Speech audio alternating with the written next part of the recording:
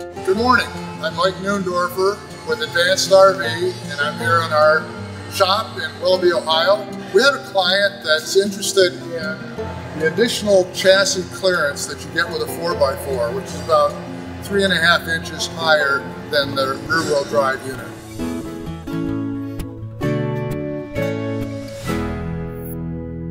I originally ordered the vehicle as a four-wheel drive. And, you know, I ordered four-wheel drive because you think you need four-wheel drive.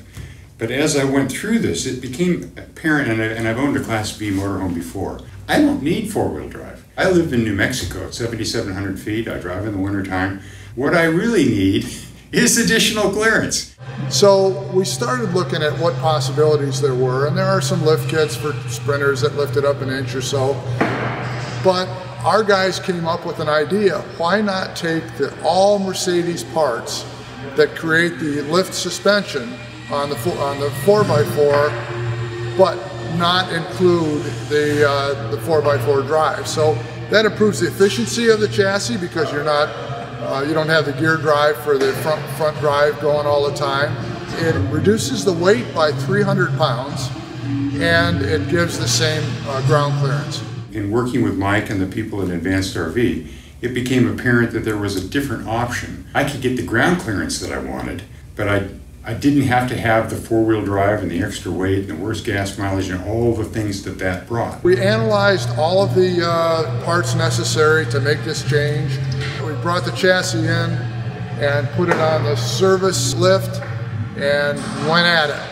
And when we were done, we had a three and a half inch lifted rear wheel drive, more efficient, lighter weight chassis.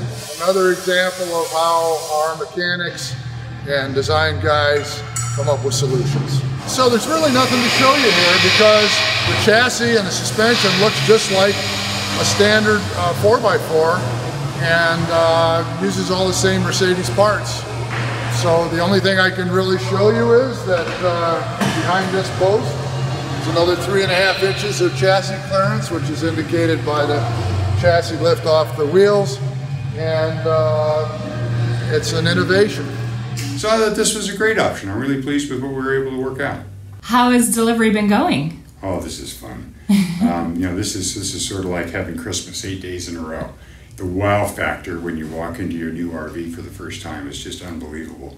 Uh, I found the people here great to work with. I met many of the people that did the work on my RV. I like that. I think they like that.